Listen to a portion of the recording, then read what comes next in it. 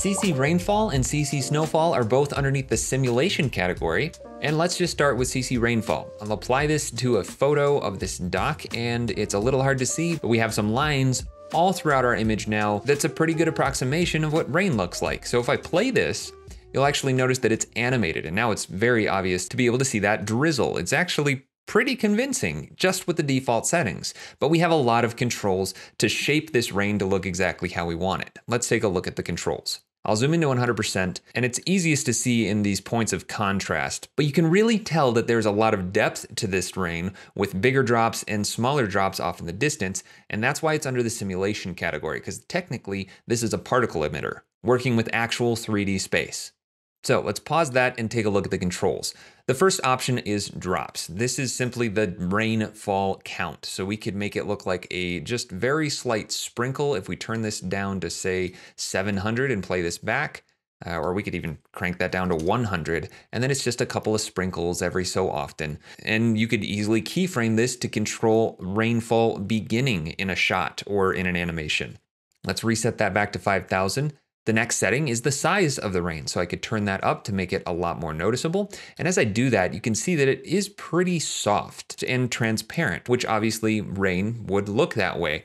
If you've ever seen video of a rainstorm, it's actually really hard to see raindrops and in movies or TV shows where they have to have rain, they use an insane amount of water dropping on top of the actors and they light it in the way so that it shows up really crystal clearly. So this effect does a pretty good job of replicating the way that rain would actually look. I'll reset that size back down to a default again. And the next control is the scene depth. And this actually might be a little bit hard to see on top of the photo, so what I'm going to do is just add a fill effect before the rainfall and just make it black so that we can really see those raindrops. And in fact, I'm gonna skip down to the opacity value real quick and just increase the opacity so it's much easier to see what's happening. Now, if I increase the scene depth, the rain is shifting around a lot, but what's really happening is that the individual layers and positioning of each one of these raindrops or particles is being spread out in the z axis. So we're literally increasing the depth between raindrops. And if I scale this way back down, then it's going to compress that z-axis until we just have this big jumbled mess of lines that kind of looks like it's all existing in one single plane. All right, let's reset that to defaults again. I'll turn off that fill effect.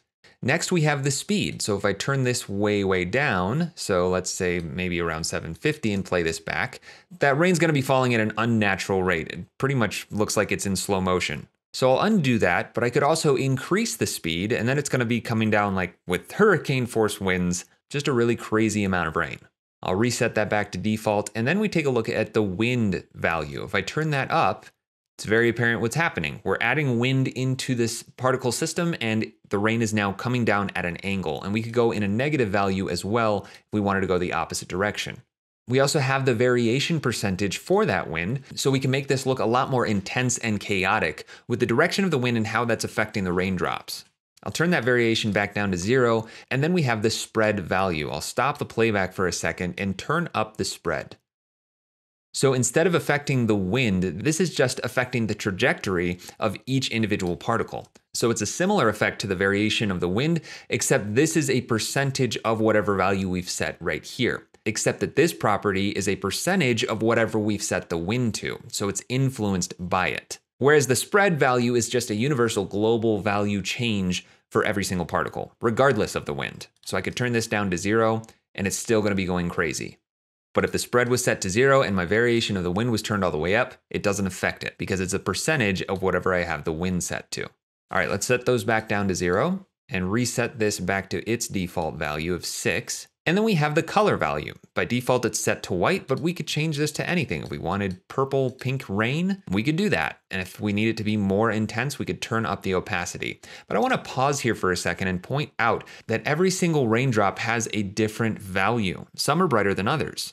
And this actually has to do with the image that you're applying it to. It's pulling values from the pixels behind it to increase or decrease the value of the raindrops, which again is more similar to how actual rain would be interacting with light.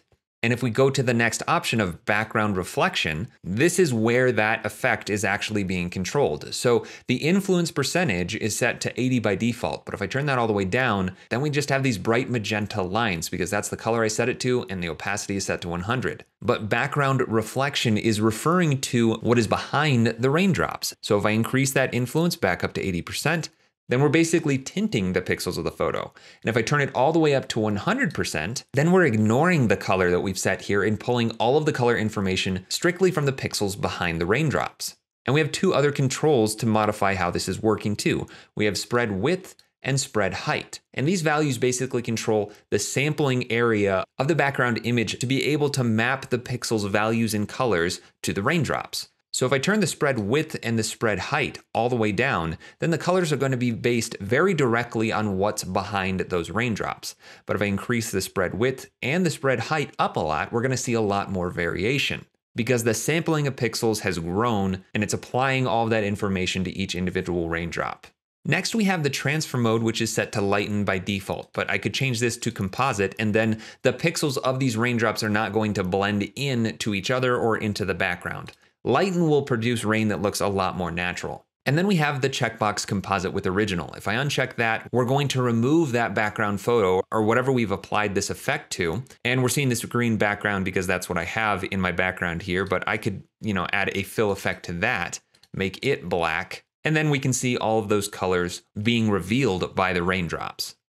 Okay, I'm gonna delete this fill effect and I'm gonna reset the rainfall back down to defaults. And finally, we have the extras section. The first option is appearance and it's set to soft solid. But if I change this to refracting and maybe turn the opacity up to 100%, you can see it especially in this particular raindrop right here. It's making the outside edges of the rain brighter and the interaction with the light is treated differently, which is something you may or may not want. Next up, we have an offset, which is just basically the origin of this particle emitter. So you can shift around the entire emitter left and right or up and down to position the rain however you want. Next, we have ground level percentage and it's set to 100% by default. But if I back this up, it's basically just a floor. So if I wanted it to look like it was raining, say, to that point, that's exactly what this property is gonna let me do. Backing it all the way up to zero, it's gonna cut it right off at the halfway point. I'll set that back up to 100%. And then we have embed depth percent. And you can think of this as a depth cutoff on the Z axis. So if I turn this down, it's going to be trimming off closer and closer to the camera. So if I put it at a percentage of one, then we're just gonna get a single layer of rain right up against the camera basically. I'll push that back up to 100%. And then finally we have random seed, and this will just randomize the rain. If for some reason you weren't happy with the way that it looked or you needed two copies of this to be different, that's what you'd use the random seed for. All right, well, that was a lot of controls, but that's it for CC Rainfall. I'll turn that off for now. And then I'm gonna search for CC Snowfall and bring that out. Now this is gonna be very similar to Rainfall and the controls are gonna be set up very similarly as well. Once again, if I play this back, we have animation. It is kind of hard to see, so I'll zoom in 100% and focus on these darker areas, and you can see those snowflakes falling. Now, once again, just by default, the settings are very convincing to looking like actual snowfall. But we could crank up the flakes value to have a lot more snow. We could increase the size to make it more apparent. We could adjust the variation in size so that we have certain flakes that are much bigger and other ones that are much smaller, or turn the variation all the way down and then every snowflake will be exactly the same size. We have the same scene depth control as in CC Rainfall, which will just compress or expand out that depth. We could increase the speed just like the rain, and this will just make it appear like it's a lot heavier snow. Let me undo. Then we have variation percentage in the speed, which, just like it sounds, gives variation in the speed for every single snowflake. If we take that variation off, then they all fall at a consistent rate. Next up, we have wind, just like in the rain. So we can push this snow in a different direction and it'll look more like a blizzard, especially if we increase that speed value. And we also have variation percentage for the wind property. Next up is the spread. So let me set these variations back down to zero and the wind back down, as well as the speed back down, and then take a look at the spread. Once again, this is like the wind variation, except that it's uniform across all of the snowflakes, regardless of what the wind or the speed are set to. So if I turn that all the way down to zero, the snowflakes are gonna fall pretty much straight down. But not perfectly straight because of the next category, which is wiggle. And this is where you control how those snowflakes are actually moving around as they're coming down to the ground. So the first value is amount for the wiggle. And if I turn that up, it's very apparent what's happening. These snowflakes are going to be twisting around, moving back and forth on their way down to the ground. Let me turn that back down to 20% and we have a variation percentage for the amount. So once again, that's going to be a factor of the amount and just introduce a little bit more randomness. I'll undo that and go to the frequency. And this is just like the wiggle expression, where you can think of amount as the amplitude and frequency as the frequency. So if you increase this number, they're gonna wiggle many more times per second. So if I say 15, then they're gonna just go crazy back and forth as they're falling down. Next up, we have stochastic wiggle, which is basically determining how these wiggles are happening. And it's a much more complex motion than if we were to uncheck it. You can see that those snowflakes are basically just zigzagging back and forth in a regular wave pattern, basically. So stochastic wiggle is going to give you something that looks a lot more natural. Next up, we have the color. Just like in the rain, we could change this to a bright neon green snowfall if we wanted to. And we could increase the opacity up to 100% or turn it back down we want it to be less noticeable. I'll undo both of those, collapse wiggle, and then we have background illumination, just like before. The snowflake's opacity can be influenced by the pixels in the layer that it was applied to, as well as how it samples those pixels using the spread width and the spread height. Also, just like CC Rainfall, we have the transfer mode from lighten to composite, as well as the checkbox for composite on original.